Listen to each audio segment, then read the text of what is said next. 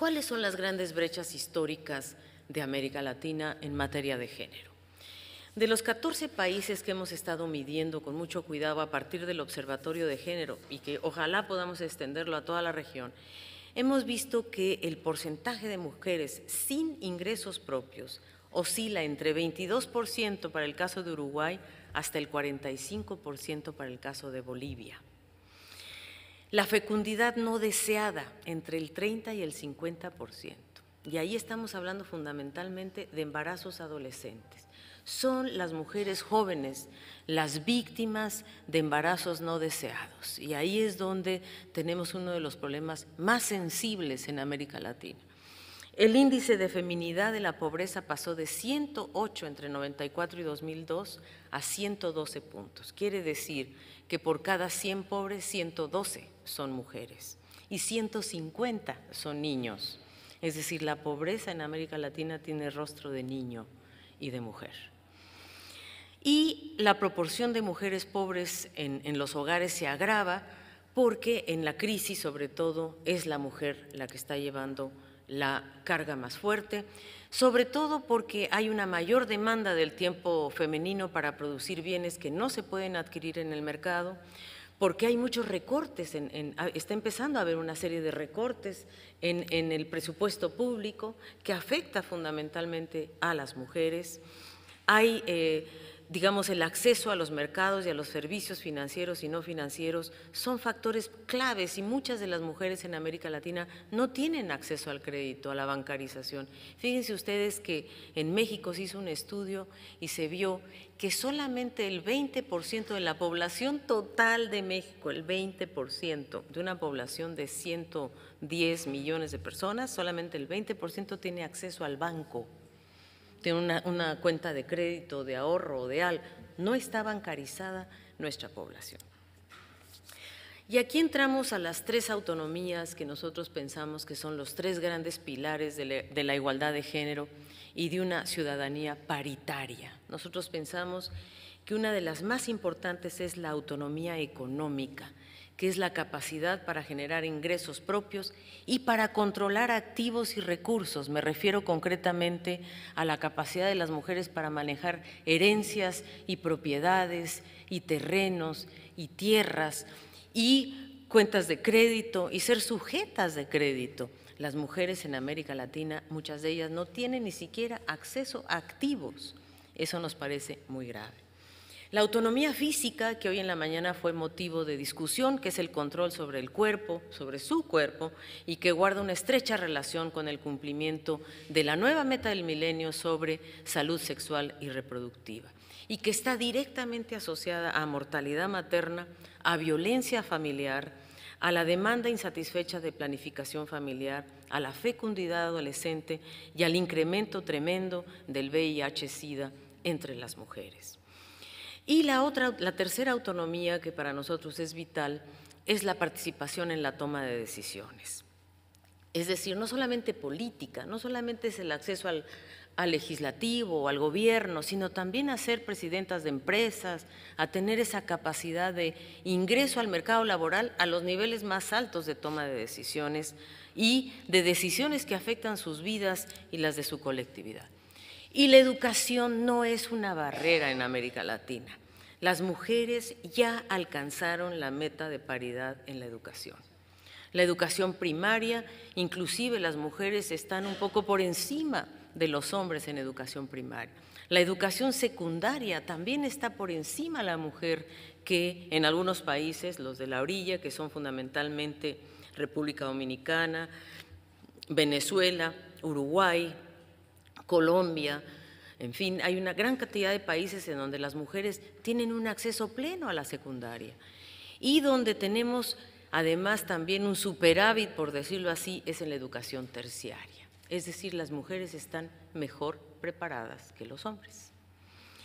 En, en, promedio, ¿verdad? Obviamente. Sin embargo, cuando hablamos de autonomía económica, del ingreso al mercado laboral, ahí tenemos el problema de que las mujeres, en comparación con los hombres, tienen una participación la tasa de participación económica es de 52%, habiendo pasado del 42 en los 90 al 52, aumentamos 10 puntos, pero seguimos en 52, y los hombres están más o menos estables, se mantienen entre 78 y 78 ahora, siguen estables los hombres, no ha variado su participación laboral, en la mujer ha variado, pero no hemos logrado un índice de paridad.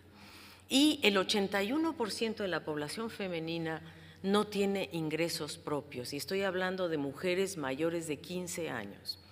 No tienen ingresos propios, pero trabajan sin remuneración. Es decir, ya vimos que hay mujeres que no tienen ingresos y no trabajan, pero el 81% de las mujeres de nuestra región no tiene ingresos y trabaja. Es decir, el trabajo doméstico es uno de los trabajos más pesados y no tiene remuneración y no tiene prestaciones sociales y no tiene protección social. Entonces ahí realmente pensamos que es donde está el gran trabajo que hay que hacer para poderle brindar a estas mujeres un acceso a la protección social. Esto lo hizo, por ejemplo, Michelle Bachelet, que le dio un acceso universal a las mujeres que eh, mayores de 60 años les dio un acceso a una pensión este, eh, de por vida. Entonces, ese tipo de cosas son las que tenemos que resolver en América Latina. En, en, relación al cuidado de los niños, y tenemos otra gráfica del cuidado de los viejos, pero esa no la traigo, pero si ustedes ven aquí el tiempo en horas, que son las barras rojas, ese es el tiempo que las mujeres ocupan en cuidar niños versus las barras grises, que es lo que ocupan los hombres. Y estamos comparando Bolivia, Guatemala, Nicaragua, Ecuador y México. Vemos, por ejemplo, que en el caso de México es donde las mujeres, que es el de las barras de la derecha, es donde las mujeres realmente trabajan más cuidando niños que los hombres.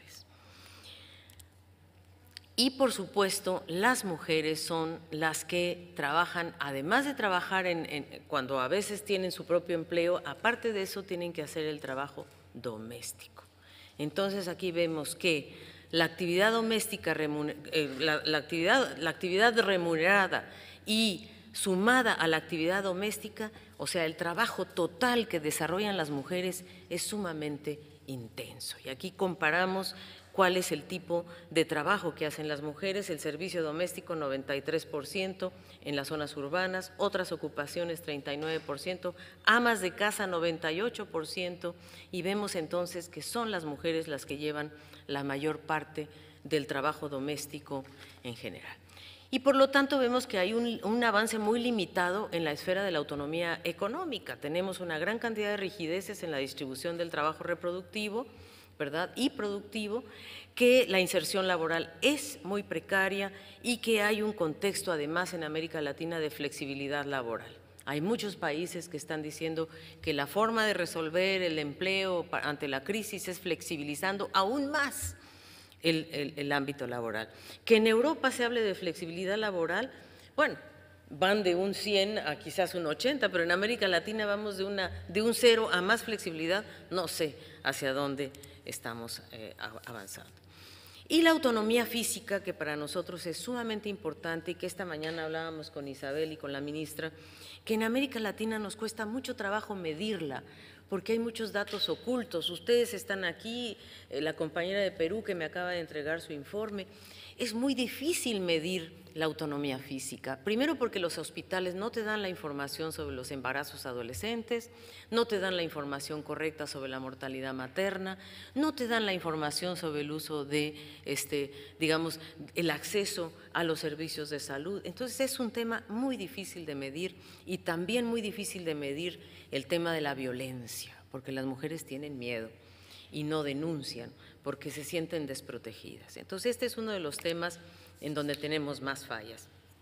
Aquí vemos que uno de los temas que más ha aumentado en América Latina es el embarazo adolescente y sobre todo en aquellos países en donde es tabú el uso de sistemas para cuidarse, para planificación familiar. Eh, tenemos graves problemas, muchos de ustedes que estuvieron en Brasilia con nosotros, el consenso de Brasilia inclusive fue rechazado a posteriori por algunos países por el tema del aborto, por el tema de la reproducción, eh, de, la, de, la, de la vida, de la salud sexual y reproductiva. Y son esos países precisamente donde el embarazo adolescente tiene índices más altos. Y por supuesto el otro gran tema es la mortalidad materna. La mortalidad materna, que como les decía, es una de las pocas metas del milenio que América Latina no ha logrado alcanzar. América Latina está en 85% de avance en el cumplimiento de las metas del milenio, con excepción de la mortalidad materna. Y por supuesto la autonomía política, y estos son los puestos ocupados por mujeres en los parlamentos nacionales. Fíjense ustedes, bueno, ha habido avances, entre 1990 y 2009, pues ha habido avances muy importantes, ¿verdad? El 19% de mujeres o el 22% ya prácticamente de, los parlamentos tiene una presencia de mujeres. Estamos mejor que Europa, ¿eh? eso sí lo comparamos y vimos que, que, la verdad que Europa está como en 18 o algo así. América Latina ya está en 20, digamos. No, no lo celebramos porque deberíamos estar en 50, porque eso es la verdadera paridad pero ya estamos al menos en, 20%, 22% en total de América Latina y el Caribe. Y lo más impresionante es que desde que las mujeres empezaron a votar y a ser votadas, nos tardamos prácticamente, por ejemplo, en, algunos países, 60 años en tener una presidenta mujer. Eh, nos tardamos, el Caribe se tardó un poco menos, pero sin duda, por ejemplo, Chile se tardó 45 años, Argentina se tardó 60 y así sucesivamente, entre que se, me refiero a, elecciones libres, ¿verdad? Y eso me parece que es algo muy importante. Tenemos muchos indicadores, yo solamente son para mostrarles un poco dónde estamos y para no tomarme toda la tarde, ¿verdad? ¿Qué es lo que aprendemos de la crisis y de la historia? Y aquí es donde creo que hay que hacer una gran reflexión en América Latina y en Iberoamérica toda porque yo creo que en Europa se está, entrando en un proceso en el cual puede haber enormes riesgos de retrocesos si no se aborda el tema de una forma integral. La verdad que la crisis no fue del, del, modelo de bienestar. Ahí no está la crisis. La crisis empezó por los flujos globales desregulados. La crisis comenzó en el ámbito financiero. No podemos echarle la culpa al estado de bienestar, que es el que está pagando los platos rotos. Y eso es un gran tema del G20. ¿Por qué, ¿Por qué son los trabajadores? ¿Por qué es la sociedad la que tiene que pagar los costos de la desregulación financiera?